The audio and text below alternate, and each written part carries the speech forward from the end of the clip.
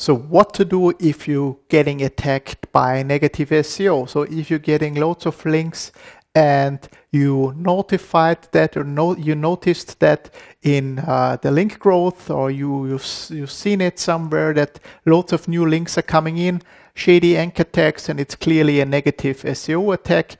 So what are you going to do? Um, clearly, it's not that easy. Um, if you are lucky, you can um, set the, the pages that they are targeting to 404. Um, what you can always do is to set the links or include the links into your disavow file. But you really would have to uh, monitor it at least once a week and update your disavow file all the time. There's not really much that you can do.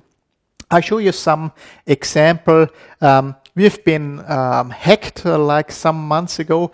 Uh, it's also a very common way these days. Um, actually, that's also an, a tactic of negative SEO to hack other websites and then just bombard them with uh, some kind of anchor text and giving them a lot of shady links.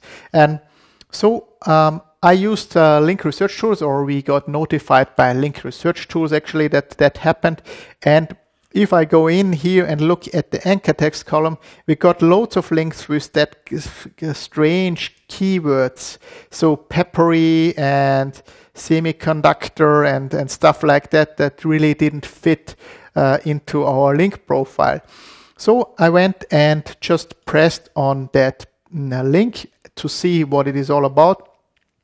And you can see it's some kind of forum that must have been hacked as well. So because it's all Louis, Vuitton handbags and it's uh, some Nike stuff, Mulberry sales.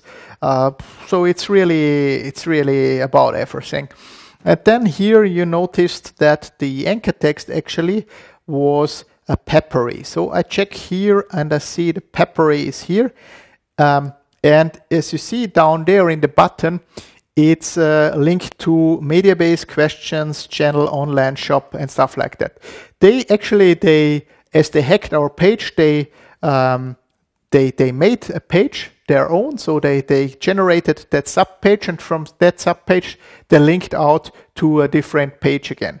So what we have done is, if you look, if you click on that um, on that anchor text, you see that you're still going to our site, uh, but because it's a sub page, we decided to make it 404. That means that the link is coming to our website, but the link will not be counted because it's getting to an error page. Um, uh, Google will not count the, the link value because the page doesn't exist actually. So because all of that um, um, all of that links have been going to the same anchor text. We have got hundreds uh, of, of, of links coming in, but they all uh, um, have been pointing to the subfolder questions and then channel online shop uh, website. So we just decided to make that 404. So all the link value that is coming in will uh, not be counted.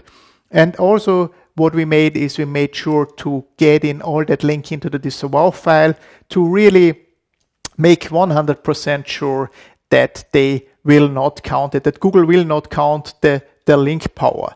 But um, if you're not lucky and the pointing to the start page, for example, there's not really much you could do. I mean, if it's really a heavy attack, you could decide to switch like from um, the WW version to uh, the, the subdomain or to, to use www2.yourdomain.com or stuff like that. But I really wouldn't recommend that because if uh, it's really negative SEO and they are watching what you're doing, they just switch to your new domain.